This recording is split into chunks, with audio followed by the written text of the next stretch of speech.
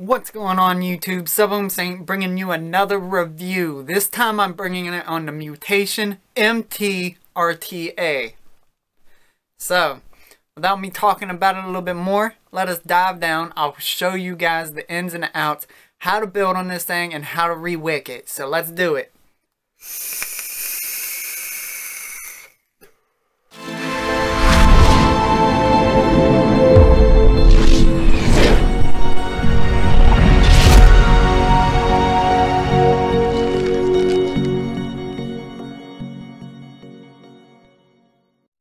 Alright guys, here we are with the Indulgent Mutation MT-RTA.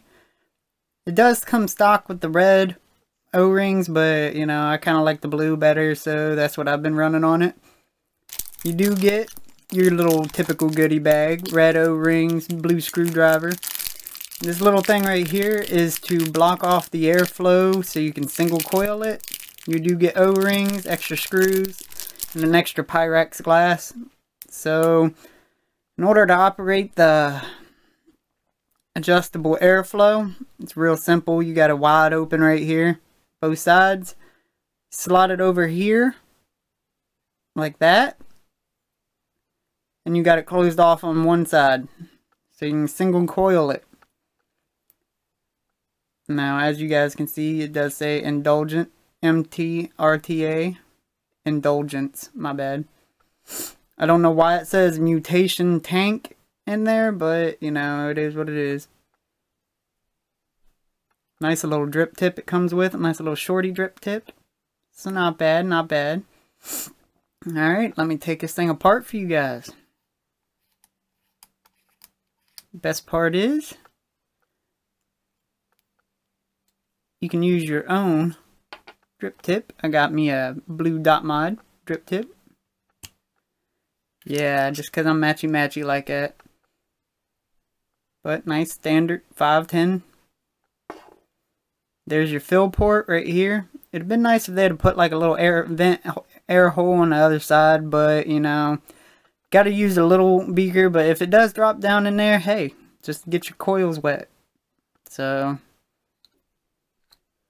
there you go. There's your little chimney.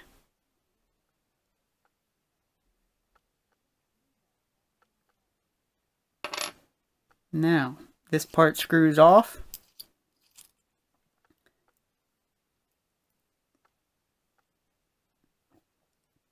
Whoops. I'm pulling a four, twist at 420 there. and here's the deck. Check out those juice wells, man. Look at them. Woo! I miss some juice wells, I tell you. Now this RTA has got to be the most user friendly. This is for you guys that are beginners at RTAs. I mean, uh, this is the easiest RTA I've had to date and I'm not even going to lie to you guys. I'm not a big fan of RTAs. I mean, I like them, but I don't have a problem with buying coils for my sub tanks because I don't use them that much. So, but for an RTA, this is definitely got to be my easiest one to build on. Flavor wise, I wouldn't say it's as good as the Goblin Mini, but it is it, it is good. It's not great, but it's good. Airflow, you definitely got a lot of airflow. Definitely. You got plenty of airflow there. So let me go ahead, put a build on this thing, and I'll show you guys how to rewick it. Here's the specs for this device, just in case I forget to mention them in the video. That way you guys are all aware of everything that this device has, all of its capabilities, all that good stuff listed right there. So, without further ado, let us get back.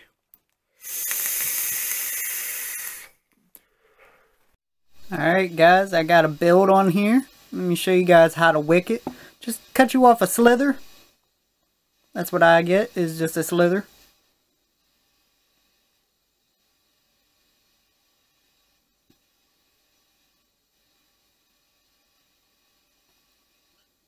Go ahead and feed it through there.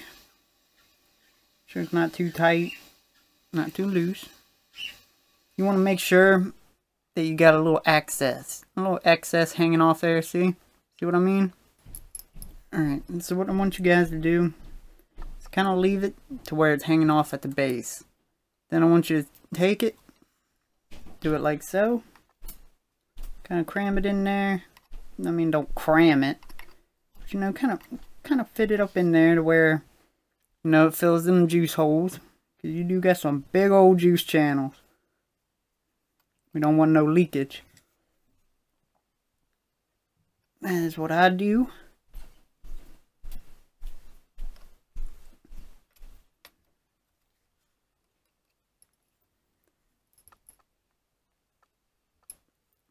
Should look something like that.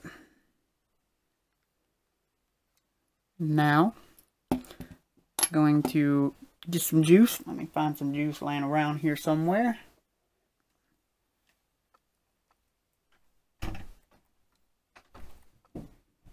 Kind of want to juice these uh, wicks up pretty good. There you go, all juiced up. Let's go ahead and put her back together. Alright, now we got her back together, relatively. Go ahead and put some juice up in her. I will be using my dot mod drip tip just because that is the way I roll. Alright, we got some juice in her. Let's go back to FaceTime, guys. Guys, that was my up close and personal with the Indulgence Mutation MT RTA. I hope my wicking method helps you guys out. It has worked great for me. Right now I have it sitting on top of this Decimus by Praxis. It is reading at 0.33 ohms, sitting at 60 watts.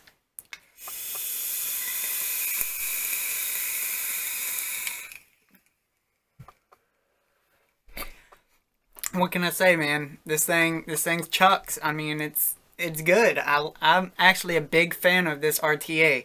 It's not the greatest flavor I've ever had, but it is good. So, you know, the juice channels make it simple to build on. It's really easy. It's definitely user friendly, especially for all these new guys out here that aren't familiar with RTAs. This one is probably your best bet to build on. It is more friendlier than all of them. It's not much of a hassle. Right now, I'm not going to lie to you. The biggest concerns that you have with this is leaking you don't have the dry hit. You don't have to worry about dry hit as much as you do with all the other RTAs. You just have to worry about leaking. You just have to make sure you put enough cotton in there. Now, my pros and my cons with this device is the screws. I mean, the screws are not the best at all. That is why I am a bigger fan of the grub nut or whatever screws you guys want to call them. I like them because they lock down, they do not loosen up. These, I actually have had problems with them loosening up, so it's kind of caused more of a more of a headache to me than it should be, but I mean, if you tighten them down snug enough, it's they're they're stay there, but they do kind of eventually knock loose. So other than that, um, I don't really have that many cons about this thing. I do like that you know, it's easy to build on. Has huge juice channels. I like that you can use your own 510 drip tip. It does have color options. I do wish they would give you more than blue and red as your color options. I mean, not everybody likes blue and red. I mean, what if I wanted some black O-rings? Come on, guys. Anyways, I like that they offer the single coil option for people that like single coil. Me personally, I like dual coil, so that's what I go with. But it is nice that they include that option. I do like the adjustable airflow. The tension is not too bad. Just wish they would fix them screws. That is my only grief about this device. And I wish they would include a air hole for when you're filling up the juice. That way you don't have to worry about what size bottle you use, man. Ain't nobody want to worry about that. We just want a juice. We just want to put some juice on it. But anyways, Thank you guys so much for watching. Please leave a like, comment if you have any problems, or just comment just to talk to me. Come on, guys. Don't forget to subscribe, and thank you guys so much for watching. You guys just keep those cotton coils wet, alright? You know what I'm talking about? Yeah.